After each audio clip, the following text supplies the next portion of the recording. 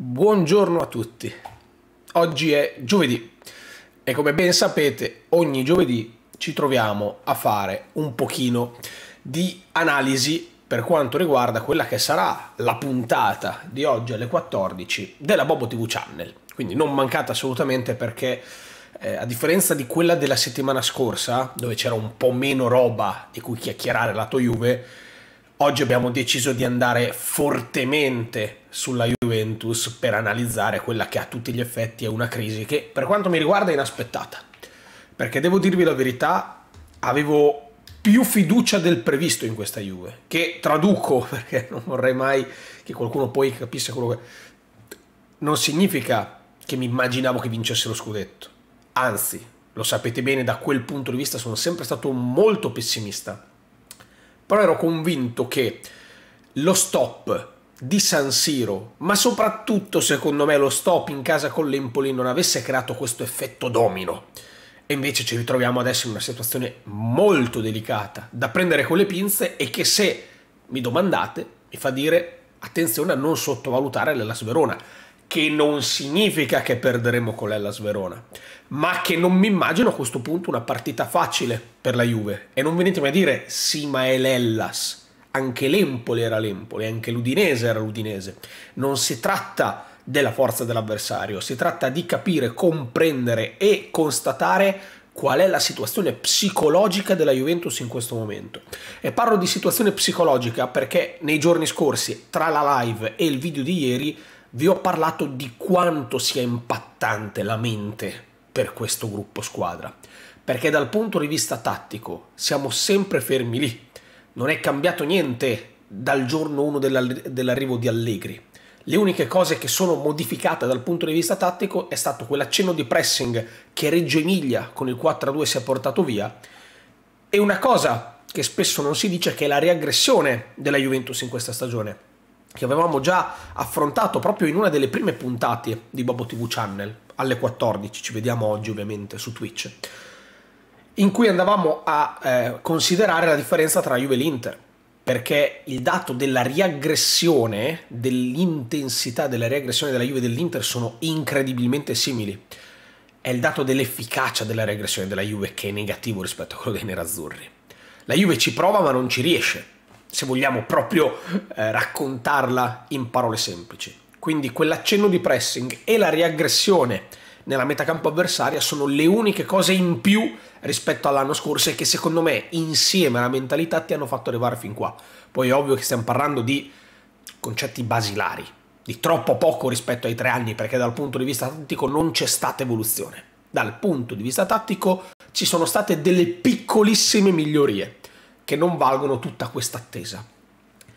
Però poi bisogna anche parlare della testa dei calciatori, che è stata la grossa differenza rispetto all'anno scorso. Ma vi ho già annoiato abbastanza con questo discorso e quindi entro a piedi pari in quella che sarà la discussione, perché c'è un caso Chiesa.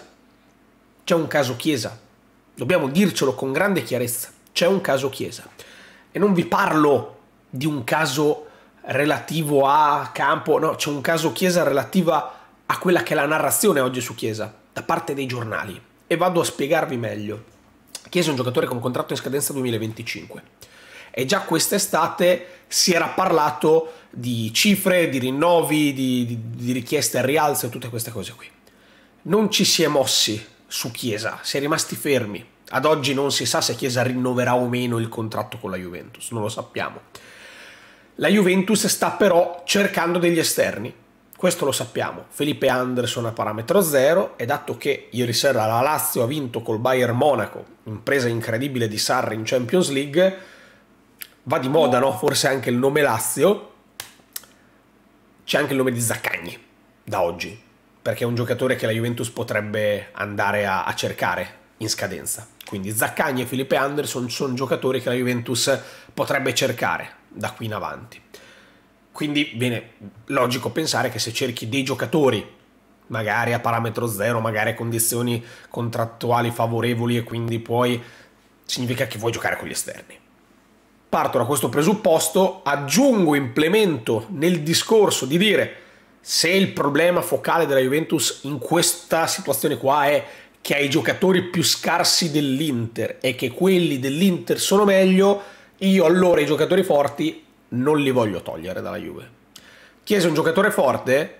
Sì. Non l'ho considerato un fenomeno, comunque dovete considerarlo di impatto maggiore rispetto alla media. Questo va detto. Poi è un giocatore che da solo cambia il volto di una squadra? Per me no. Per me no perché il percorso di crescita di Federico Chiesa si è interrotto a Roma purtroppo, con quel crociato. Oggi Federico Chiesa è un calciatore che fisicamente è un'incognita. È tornato da un crociato e io adesso eh, vi dico una cosa che ho sempre detto un pochettino, è velata, ma adesso la dico proprio, secondo me qualcosa non è andato bene tra operazione e recupero di Federico Chiesa, perché ci ha messo tanto tempo in più, tanto tempo in più. Quando è tornato, è tornato con un pochino di calma, lo ricorderete. Io il finale di stagione l'anno scorso Federico Chiesa me lo immaginavo esattamente così. Quando quest'anno è tornato e all'inizio la Juventus appunto si aggrappava al pressing, secondo me si è visto un accenno del vero Federico Chiesa. Oggi è un giocatore che non sta bene fisicamente oggi Federico Chiesa non sta bene fisicamente. Tra l'acciacchino e il dolorino è più fuori che dentro in questo momento. È un dato di fatto. E mi dispiace. Mi dispiace perché quando un calciatore del genere, con il suo modo di giocare, non sta bene fisicamente, difficilmente riuscirà a dare il suo 100%. Non ce la può fare. Ed è un giocatore che ha bisogno di essere inserito in un contesto giusto, Federico Chiesa. Non è per intenderci il regista che palla lui e ti comanda tutta l'impostazione. Non è l'attaccante che palla lui ti faccia salire la squadra. Non è il difensore che uno contro uno non mi vai via neanche per sbaglio. Non è il portiere che ti fa 10-20 parate in una stagione decisive e a cui è difficile fare gol. È un giocatore che, quando è arrivato alla Juventus ormai quasi 4 anni fa, prendeva palla, saltava quasi tutti e riusciva a fare gol. Anche all'interno di un contesto che lo vedeva schierato come quinto di centrocampo. Lo ricorderete, Chiesa con Pirlo giocava a sinistra, con Danilo a coprire le spalle, in un modulo fluido che potevamo definire 3-4-1-2, 3-5-2, in cui Chiesa ha dato il meglio di sé, ha fatto vedere cose incredibili. E poi quel maledetto ginocchio,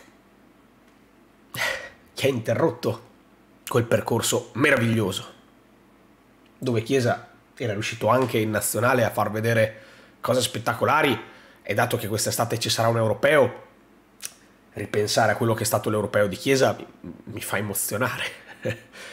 Quindi dato che prima vi dicevo giocatori forti o giocatori sopra la media, ecco io Federico Chiesa il contratto l'avrei fatto firmare ieri, non oggi, ieri. Però vi dico una cosa, io mi immagino una Juventus dell'anno prossimo in cui ci sarà o Chiesa o Allegri. Non tutti e due. Io credo che Chiesa e Allegri insieme alla Juventus sia impossibile da avere l'anno prossimo. E ve lo dico perché continuiamo a leggere questa rincorsa a fare in modo di far apparire Chiesa come quello che eh, vuole più soldi o il contratto nei momenti, quando invece magari non è nemmeno così. Lo sappiamo bene che l'opinione pubblica poi può cambiare, può influenzare fortemente i giudizi e far passare delle cose per non proprio veritiere. Su Chiesa si rischia un caso di bala. Cioè, ci vado dritto, ci rischia un caso di bala, ma ne avevamo già parlato in un altro video. Però vi dico, Chiesa Allegri insieme secondo me è impossibile.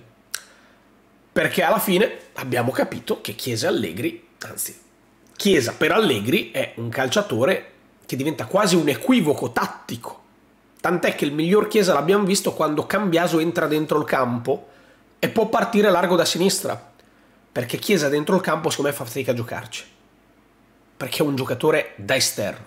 E mi piacerebbe tantissimo vederlo esterno in un 4-3-3. Chiesa da una parte, Ildis dall'altra, Vlaovic in mezzo. Oh, che bello che sarebbe. O un 3-4-3. Chiesa da una parte, Ildis dall'altra, Vlaovic al centro. Oh, che bello che sarebbe. Sarebbe bello. Perché ce li abbiamo, abbiamo la possibilità di farli giocare. non vedo perché privarci di questa cosa. Poi c'è, l'opzione che è né Chiesa né Allegri, che io vi dico la verità, non scarterei a priori, perché bisogna capire che tipo di Juventus sarà. Con chi in panchina? Allegri, allora niente Chiesa. Non Allegri, allora rinnovo Chiesa, vado a fare una valutazione sulle condizioni fisiche, sulle richieste economiche, su quello che potrebbe essere anche la cessione del ragazzo, ma a un anno di distanza ovviamente lo vai a cedere a meno di quello che può essere il suo valore. Quindi 50 milioni non credo proprio. 40 milioni non credo proprio. Insomma sui 30, se non 25 vi dico proprio la verità. A un anno dalla scadenza del contratto e con il giocatore con dei problemi fisici. Che non significa che il, il valore di Chiesa sia quello perché, ripeto, forse per me Chiesa rinnovava non oggi, non domani, ieri. Ma secondo me questo continuo aspettare su Federico Chiesa, ma con la Juve che comunque sta cercando degli esterni, è legato al fatto che bisogna capire se ci sarà Allegri oppure no in panchina. Ecco, io da questo non, non scappo.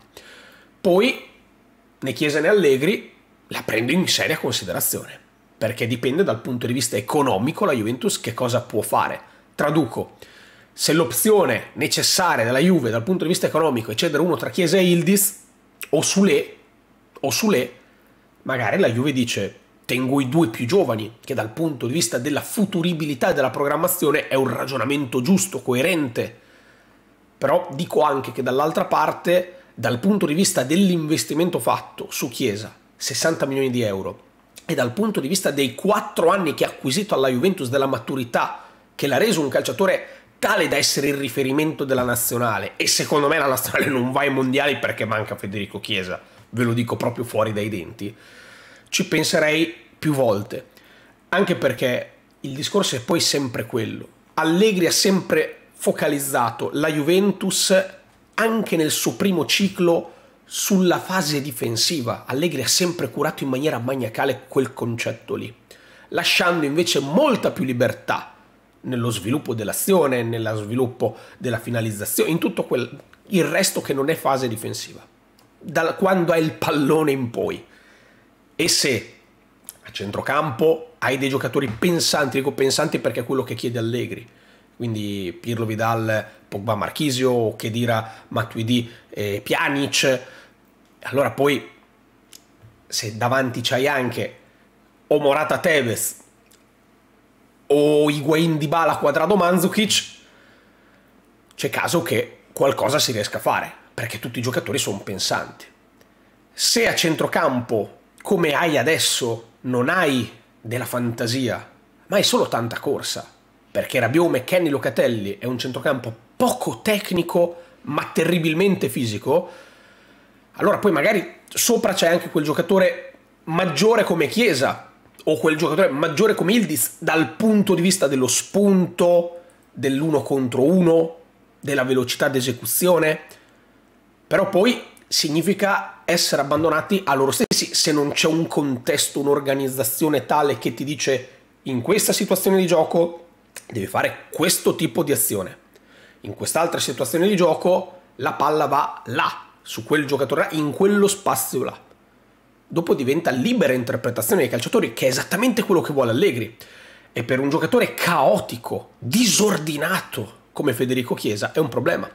Perché secondo me Chiesa rende al meglio all'interno di un'organizzazione perfetta e ordinata. Per quello che vi dico, se la Juve il prossimo anno avrà intenzione di cambiare allenatore, io almeno un ultimo ballo a Federico Chiesa glielo voglio garantire, che significa sottoporgli un rinnovo contrattuale perché è un giocatore che so che può dare qualcosa in più. Poi non significa che Chiesa sia esente da colpe, critiche, no, tutti, in questo momento io metto allenatore e squadra tutti sulla stessa linea. Perché se la colpa di Allegri è quella di non aver dato un'organizzazione in tre anni, in tre anni, averla sempre ragionata dal punto di vista del ne prendo il meno possibile così non serve fare così tanti, ai calciatori però vi dico, d'accordo, però perché nella prima parte di stagione con quello stesso vuoto tecnico-tattico siamo andati bene e adesso abbiamo mollato? È una roba inconscia? Lavoriamoci, allora, perché tanto dal punto di vista tattico degli aiuti, dei supporti non arriveranno. Non sono arrivati nei due anni e mezzo abbondanti precedenti, non arriveranno negli ultimi quattro mesi di questa stagione. Non arriveranno. Se invece è un discorso di aver proprio mollato consapevolmente, allora lì mi arrabbio. Allora lì mi arrabbio perché è un discorso semplicemente di voglia. Quando si indossa la maglia della Juventus, anche solo per garantirsi un futuro, perché magari Allegri andrà via, ma voi rimarrete e continuerete ad andare in campo, dovete imparare che non si molla mai. Ma questo non è che vale per Chiesa, Vale per Chiesa, per Vlaovic, per Rabiot, per Locatelli, per Bremer, per Tizio, Caio, Sempronio e Pierino. Perché l'allenatore oggi è quello che ha la macro colpa se analizziamo i tre anni. La macro colpa. Poi ci sono le colpe specifiche da andare a distribuire. Perché poi magari verrà tagliato il ramo relativo ad Allegri, che è un ramo secco e che secondo me dopo questi tre anni va tagliato. Però poi quando magari arriverà quell'altro, che avrà bisogno magari di ancora più disponibilità da parte dei giocatori perché non mi aspetto Antonio Conte, eh, Jürgen Klopp, Pep Guardiola, Zinedine Zidane, calci- allenatori che hanno già vinto, stravinto, qui, là, su, giù, dappertutto.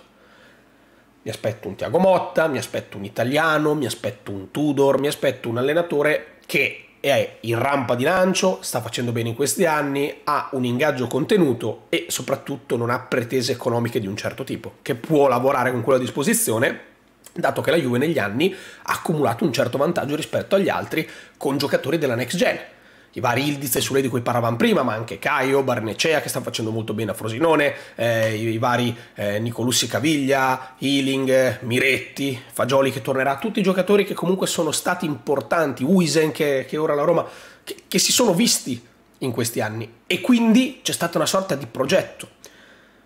Io mi aspetto un tipo di allenatore del genere.